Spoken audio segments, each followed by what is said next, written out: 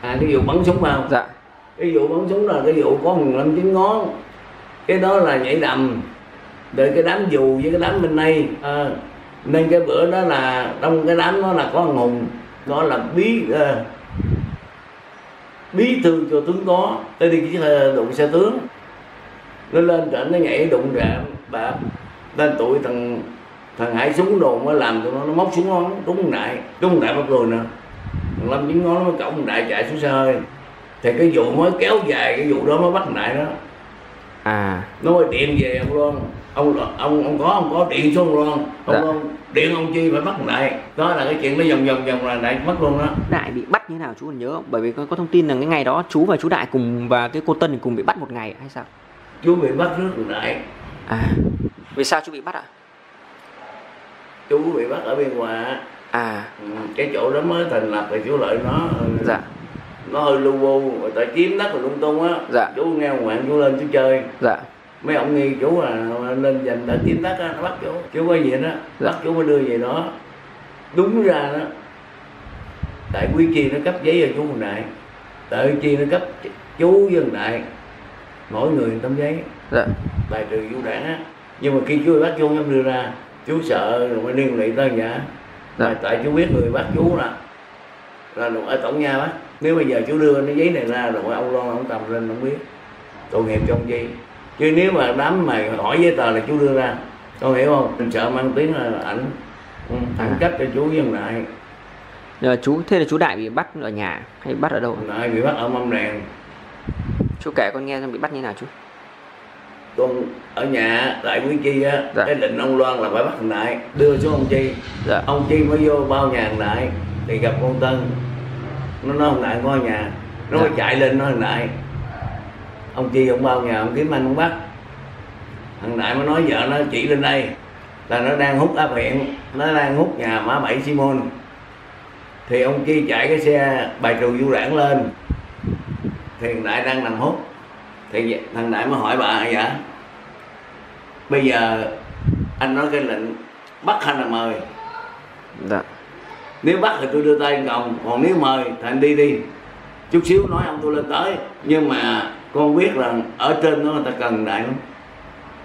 Người ta muốn bắt đại đâu. Tại nhỏ lớn nó không có giấy tờ không ai bắt nó. Dạ. Nó không bị bắt lính không bị gì hết. Dạ. Ai biết biết nó là nó thả nó. Nó đâu có giấy tờ gì đâu. À nó hàng du đảng đồ gạo cội á cứ có tiếng sang trọng ăn chơi. Nên mấy ông cần nó là vì ông đem mấy ông đem nó về một lần rồi mấy ông muốn nhờ nó để diệt trừ du đảng. Ông ông nào mời chú đại ông về? Loan. À tướng loan.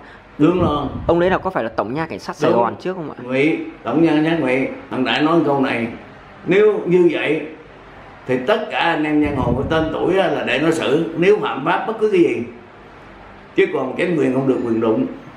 Dạ. Mấy ông có chịu? Mấy ông có chịu thì đại nó không có làm. Tôi không có làm được.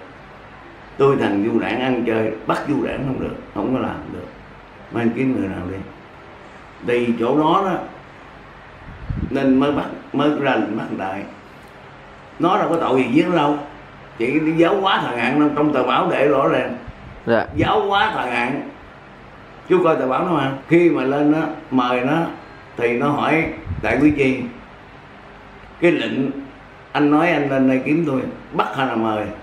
Nếu bắt tôi đưa tay anh cộng còn nếu mời anh nói ông tôi lên tới. Đại úy chi này là ai ạ? Đây thì bài trừ vũ đảng. À là trưởng ban bài trừ dư đảng Ờ. do ông loan dựng lên đúng không? ạ ông lo dựng. Dạ.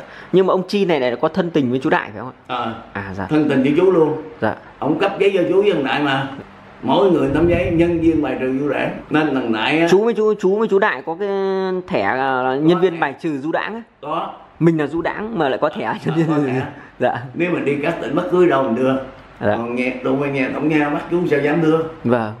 Tổng nha cảnh sát gòn dạ. Chết ông nữa. Dạ. Chú thương chú không đưa. Dạ. Ừ. thế rồi chờ chú kể cho con nghe tiếp cái đoạn mà bắt chú đại Thì- xem sao. thì Dạ. thì lúc đó đó thì ông chi ông mới nói thôi. Vậy là anh mời em. Ông nói ông mời em thôi em lên đi. Dạ. Chi không có dám còng nó đâu. Dạ. Ừ. nhưng mà ông chi đi rồi lại nó đi. Dạ. nó lên. Cái ý nghĩa nó là sao thì chú không biết. Nhưng mà khi xuống chỉ học cho nó không cho tài xế lái nó. Tự nó lái. Dạ. Mà nó kêu xì hết bốn bánh xe. Chạy bằng niền không à? Vâng. Niền với vỏ bởi khi xe nó vô tới tổng nhà ổng đứng ông đón nó mà. Ông luôn đứng đón ổng thấy cái xe nó kỳ quá mọi tướng tướng loan tổng nhà cảnh sát đứng đó. ngay cửa đón nó. Dạ. Thì đại nó chung xe ra ổng mới bắt ba đại ổng mới nói ủa sao xe em thằng đại nó ờ xe tôi chạy điện vỏ không có thằng đại nói vậy. Nhưng mà lên nói chuyện sao thì ông lo mới vũ ngọt nó bây giờ đây là cái lệnh thôi em thông cảm. Dạ lên trên không dám cãi. Đem nhốt thằng đại thì lúc đó chú nghe rãng rãng rãng là chú có biết cái gì. Nhưng sự thật hiểu ra thì mấy con y tá bác sĩ công an á nó đi ngang nó để cái gô cơm cho thằng lại. Cái gô nước cho thằng lại uống lại nó ăn cơm. Đưa vô là nó đá. Tại vì cơm nó xét cơm nó bị xét bị người ta môi người ta xét nó không ăn. Nó đá nó dục hết rồi. Ừ.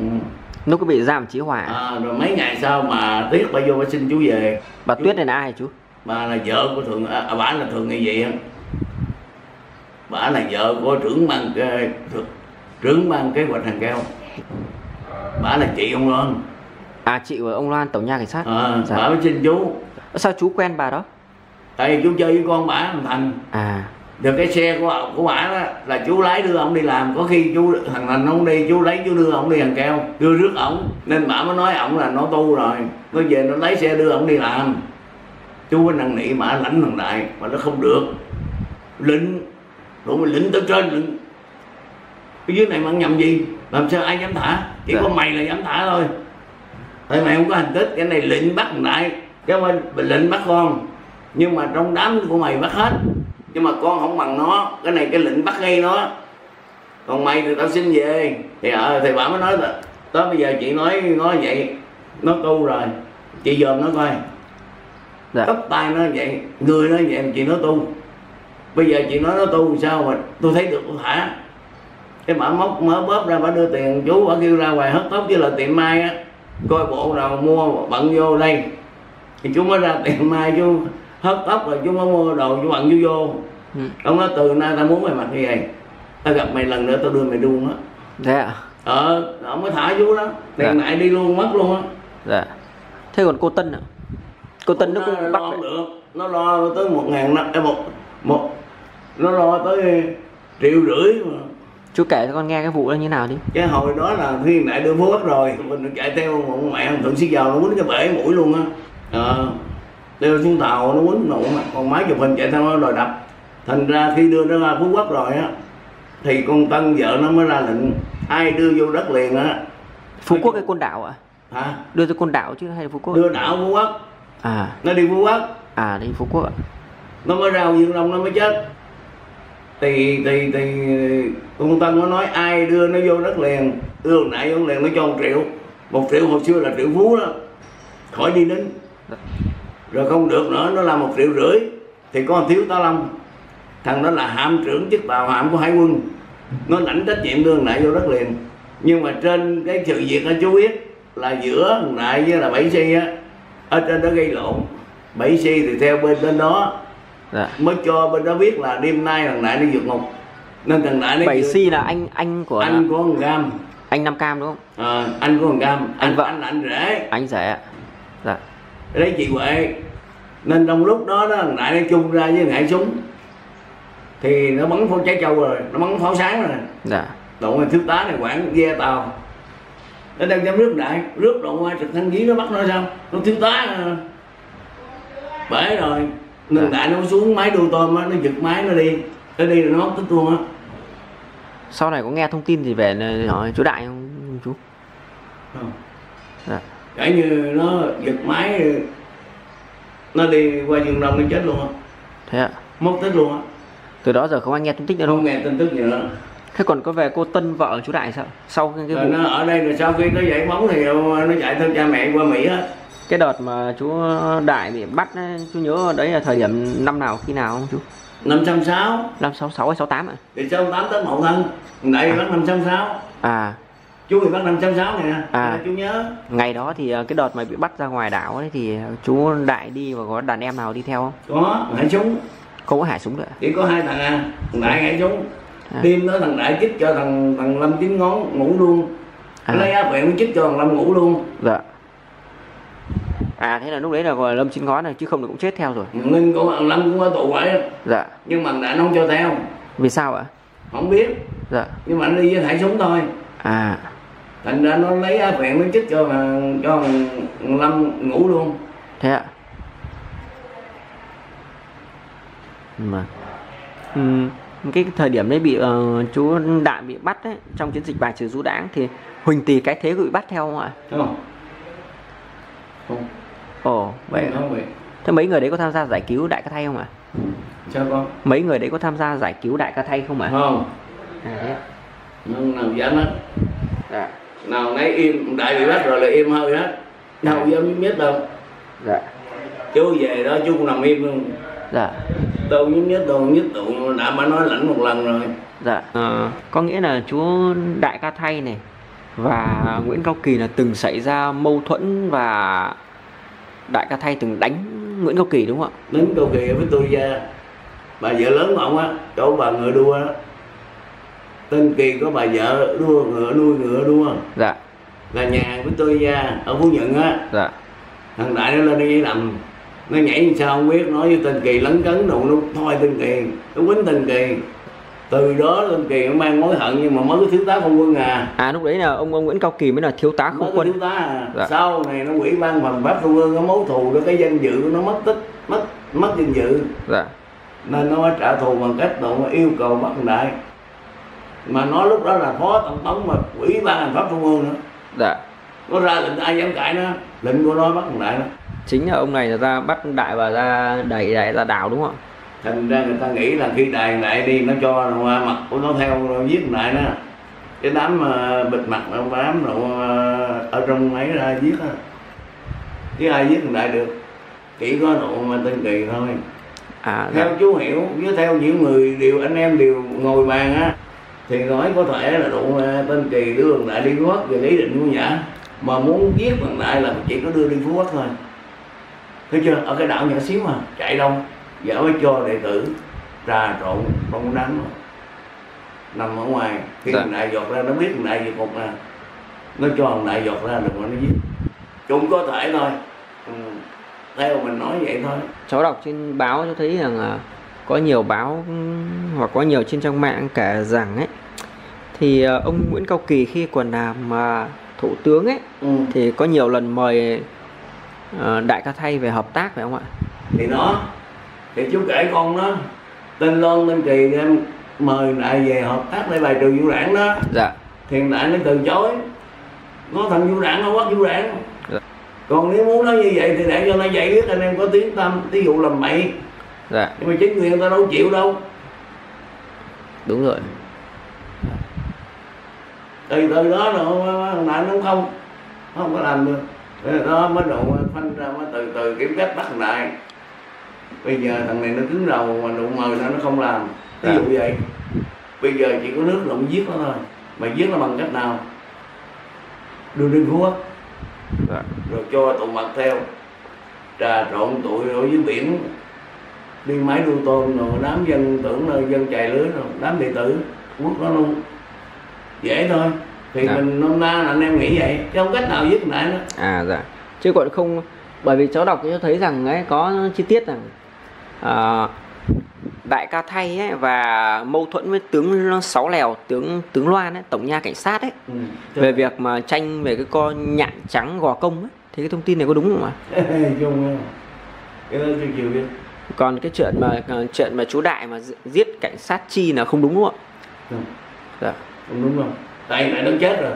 À có nghĩa cái cái sự cố như nào? Chú kể cho con nghe xem thì cái hồi mà lại chưa chết á Dạ. chưa tù á lại có tặng cho đại quý kim chiếc xe. Dạ. cặt vô tóc đỏ Dạ. bằng căm chiếc xe đó chú biết. Nhưng mà khi nãy nó đã chết rồi thì tên kỳ tên tên tên tên chi mới đi ra vũng tàu. Chưa tới vũng tàu thì xe nó đã cán chết rồi. À sẽ xẹt xe luôn. À. Thì tại nó đã chết rồi ai điều động giết đâu nói thì cũng có không có lý tên chú biết là không được đó có nghĩa cái sự cố ông chi chết này là xảy ra là sau khi chú đại mất tích ở ngoài đảo đúng không ạ ừ. còn thêm nữa là ngày cái trước này người ta nghĩ như vậy thôi tại Dạ. vì tên lôn mời đại rồi giờ đại mất tích người ta Dạ. nghĩ là đại giết nhưng sự thật không phải đâu đại Dạ. nó chết rồi ai điều động và thêm nữa là cái ông chia cái đại úy chi này với chú đại và ừ, chú là thân nhau đúng chí không tân nên không thể có xảy ra cái chuyện đó được tại vì à, sao mà mà mà, Dạ. mà, mà chí tân cái bữa đó đó thằng cây chi á, về bắt ba đệ tử thằng đại. Nên chú với thằng đại đại mới nói tao này vô ông vô chợ chi đụng mà nói chuyện lãnh mấy nhỏ. Thì tôi với thằng đại vô mới xin giả giả thôi được. Chút xíu tao hả? Dạ. À, vợ nghe lời thằng đại là vợ nói chút xíu vợ thả mấy đệ tử thằng đại. Thì ngồi nói chuyện chút xíu rồi nói đại nó muốn cấp giấy chứ đại ai cũng biết hết á. Ừ, cấp để bỏ túi chơi đi đâu rồi tôi nói đi ra khỏi vùng này thì anh ai hỏi tôi trình giấy đệ tử anh còn à, đó vợ mới làm cho chú cái một cái cái thẻ. Ừ. thẻ bài trừ du đãng đúng không?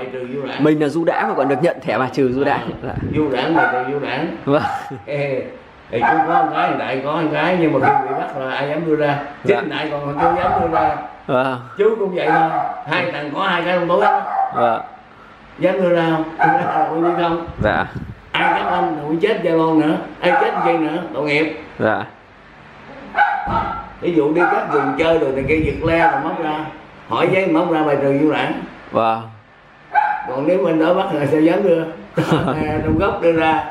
Dạ. Đưa ra nắm đầu luôn Ờ, lúc đấy là về cái băng đại ca thay địa bàn của băng đại ca thay thì là chủ yếu ở Sài Gòn chợ lớn hay còn ra cả miền Trung và miền Tây nữa thêm chú hiểu có đâu thôi nội thành phố sài gòn đâu mà có người ra tôi nói à dạ. Mà lại qua tôi nói đâu. Dạ nói là nói vậy chứ không nói vậy chứ không có đâu. Dạ. Trời ơi chú chí thân như đó mà nội sài gòn không hết đi đâu ra tới miền trung miền bắc. Thưa quý vị, mọi người xem xong clip chia sẻ về tinh hoa Việt trên kênh dòng bình số bụi của Lê Nguyễn. Và sau đây là ít phút quảng cáo cho mọi người. Như anh chị anh em biết hiện tại thì Lê Nguyễn là đơn vị phân phối ờ, các sản phẩm thảo dược của các thầy. Thì trong đó có thảo dược thải độc gan của võ sư Huỳnh Bá. Và hôm nay thì Lê Nguyễn muốn chia sẻ với mọi người một sản phẩm mới của bên thầy. Đó là cái thảo dược mà hỗ trợ điều trị bệnh đại tràng, trào ngược dạ dày. Và hiện tại là trên tay Lê Nguyễn đang cầm đây thì đây chính là cái hũ thảo dược thải độc gan như mọi người biết rồi. Và đây chính là cái hũ mà thảo dược hỗ trợ điều trị những bệnh là trong trào ngược dạ dày này, đau bao tử này và viêm đại tràng. Thì à, cái hũ này là 100 gram mọi người. Thì sử dụng thì đơn giản thôi ngày uống hai lần và mỗi lần từ 6 đến 8 viên sau ăn nha mọi người. Và chia sẻ với quý vị như thế này tại sao nó phải là một bộ uống kèm nhau? Bởi vì là cái đại tràng này sau khi uống một thời gian ấy thì có thể là xảy ra hiện tượng là bị nóng trong và bị táo bón khi đấy thì chúng ta phải cần uống từ 5 đến lại 30 viên thảo dược thải độc gan này để cho nó cân bằng cơ thể mọi người. Thì uh, thảo dược thải độc gan thì như mọi người đã biết rồi thì có một cái hũ mà 300 g và Linh Nguyễn đang bán 300 ngàn thì mọi người biết rồi đúng không? Thì bây giờ Linh Nguyễn làm một cái size nhỏ như vậy cái size này là tầm khoảng 200 g và giá bán lẻ là một trăm rưỡi nha. Và đại tràng này một trăm rưỡi vì ờ, bộ này là 300 ngàn nha mọi người. Thì giải độc gan thì cái thông tin thành phần thì trong cái giấy gửi kèm thì có đầy đủ luôn và đại tràng thì cũng có thế nhưng mà Lê Nguyễn muốn chia sẻ thêm với tất cả mọi người đấy là cái em thảo dược đặc trị đại tràng như là đau bao tử viêm đại tràng hay là đi cầu phân sống như vậy này. Thì ờ, nó có gồm có 5 loại ngải ở vùng ờ, thất sơn an giang và kết hợp với hai toa thuốc của võ sư hùng bá. Thì ờ, có rất nhiều nhưng mà Lê Nguyễn có thể cho mọi người xem này. Đây mọi người ờ, sử dụng thì nhớ là đọc kỹ thông tin hướng dẫn ở tại cái tờ giấy hướng dẫn này nha. Đây trong này để có viết rất rõ cái thành phần uh, của cái thảo dược này cũng như là cái cái cách dùng và những cái chỉ định và đặc biệt là kèm theo ấy, cái cái cái cái ờ, phần gọi là cái phụ lục đi cho mọi người. Ở trong này có cụ thể là đối tượng cho các anh em là bị bệnh trọng ngược dạ dày này và đối tượng các anh em mắc phải bệnh đại tràng này. trong đó có việc chúng ta phải uống kết hợp với một số cái loại như chẳng hạn như là gừng tươi với nước xả hay là rau diếp cá với lại đun với nước dừa. Thì đó, nhà mình đối tượng nào thì sử dụng như vậy, giúp Lê Nguyễn nha. Rồi, ok, cái này hiện tại là Lê Nguyễn đang bán học Ờ, uh, 300 ngàn nha mọi người. Rất nhiều anh chị em hay hỏi về câu liệu trình ấy. Ở bao nhiêu lâu thì khỏi và uống bao nhiêu hũ. Thì đây một cái bộ như vậy thì thường uống tầm khoảng 2 tháng mọi người. Thì thảo dược này tầm khoảng à, 10 ngày là sẽ có cái hiệu quả ngay nha mọi người. Rồi tạm biệt mọi người.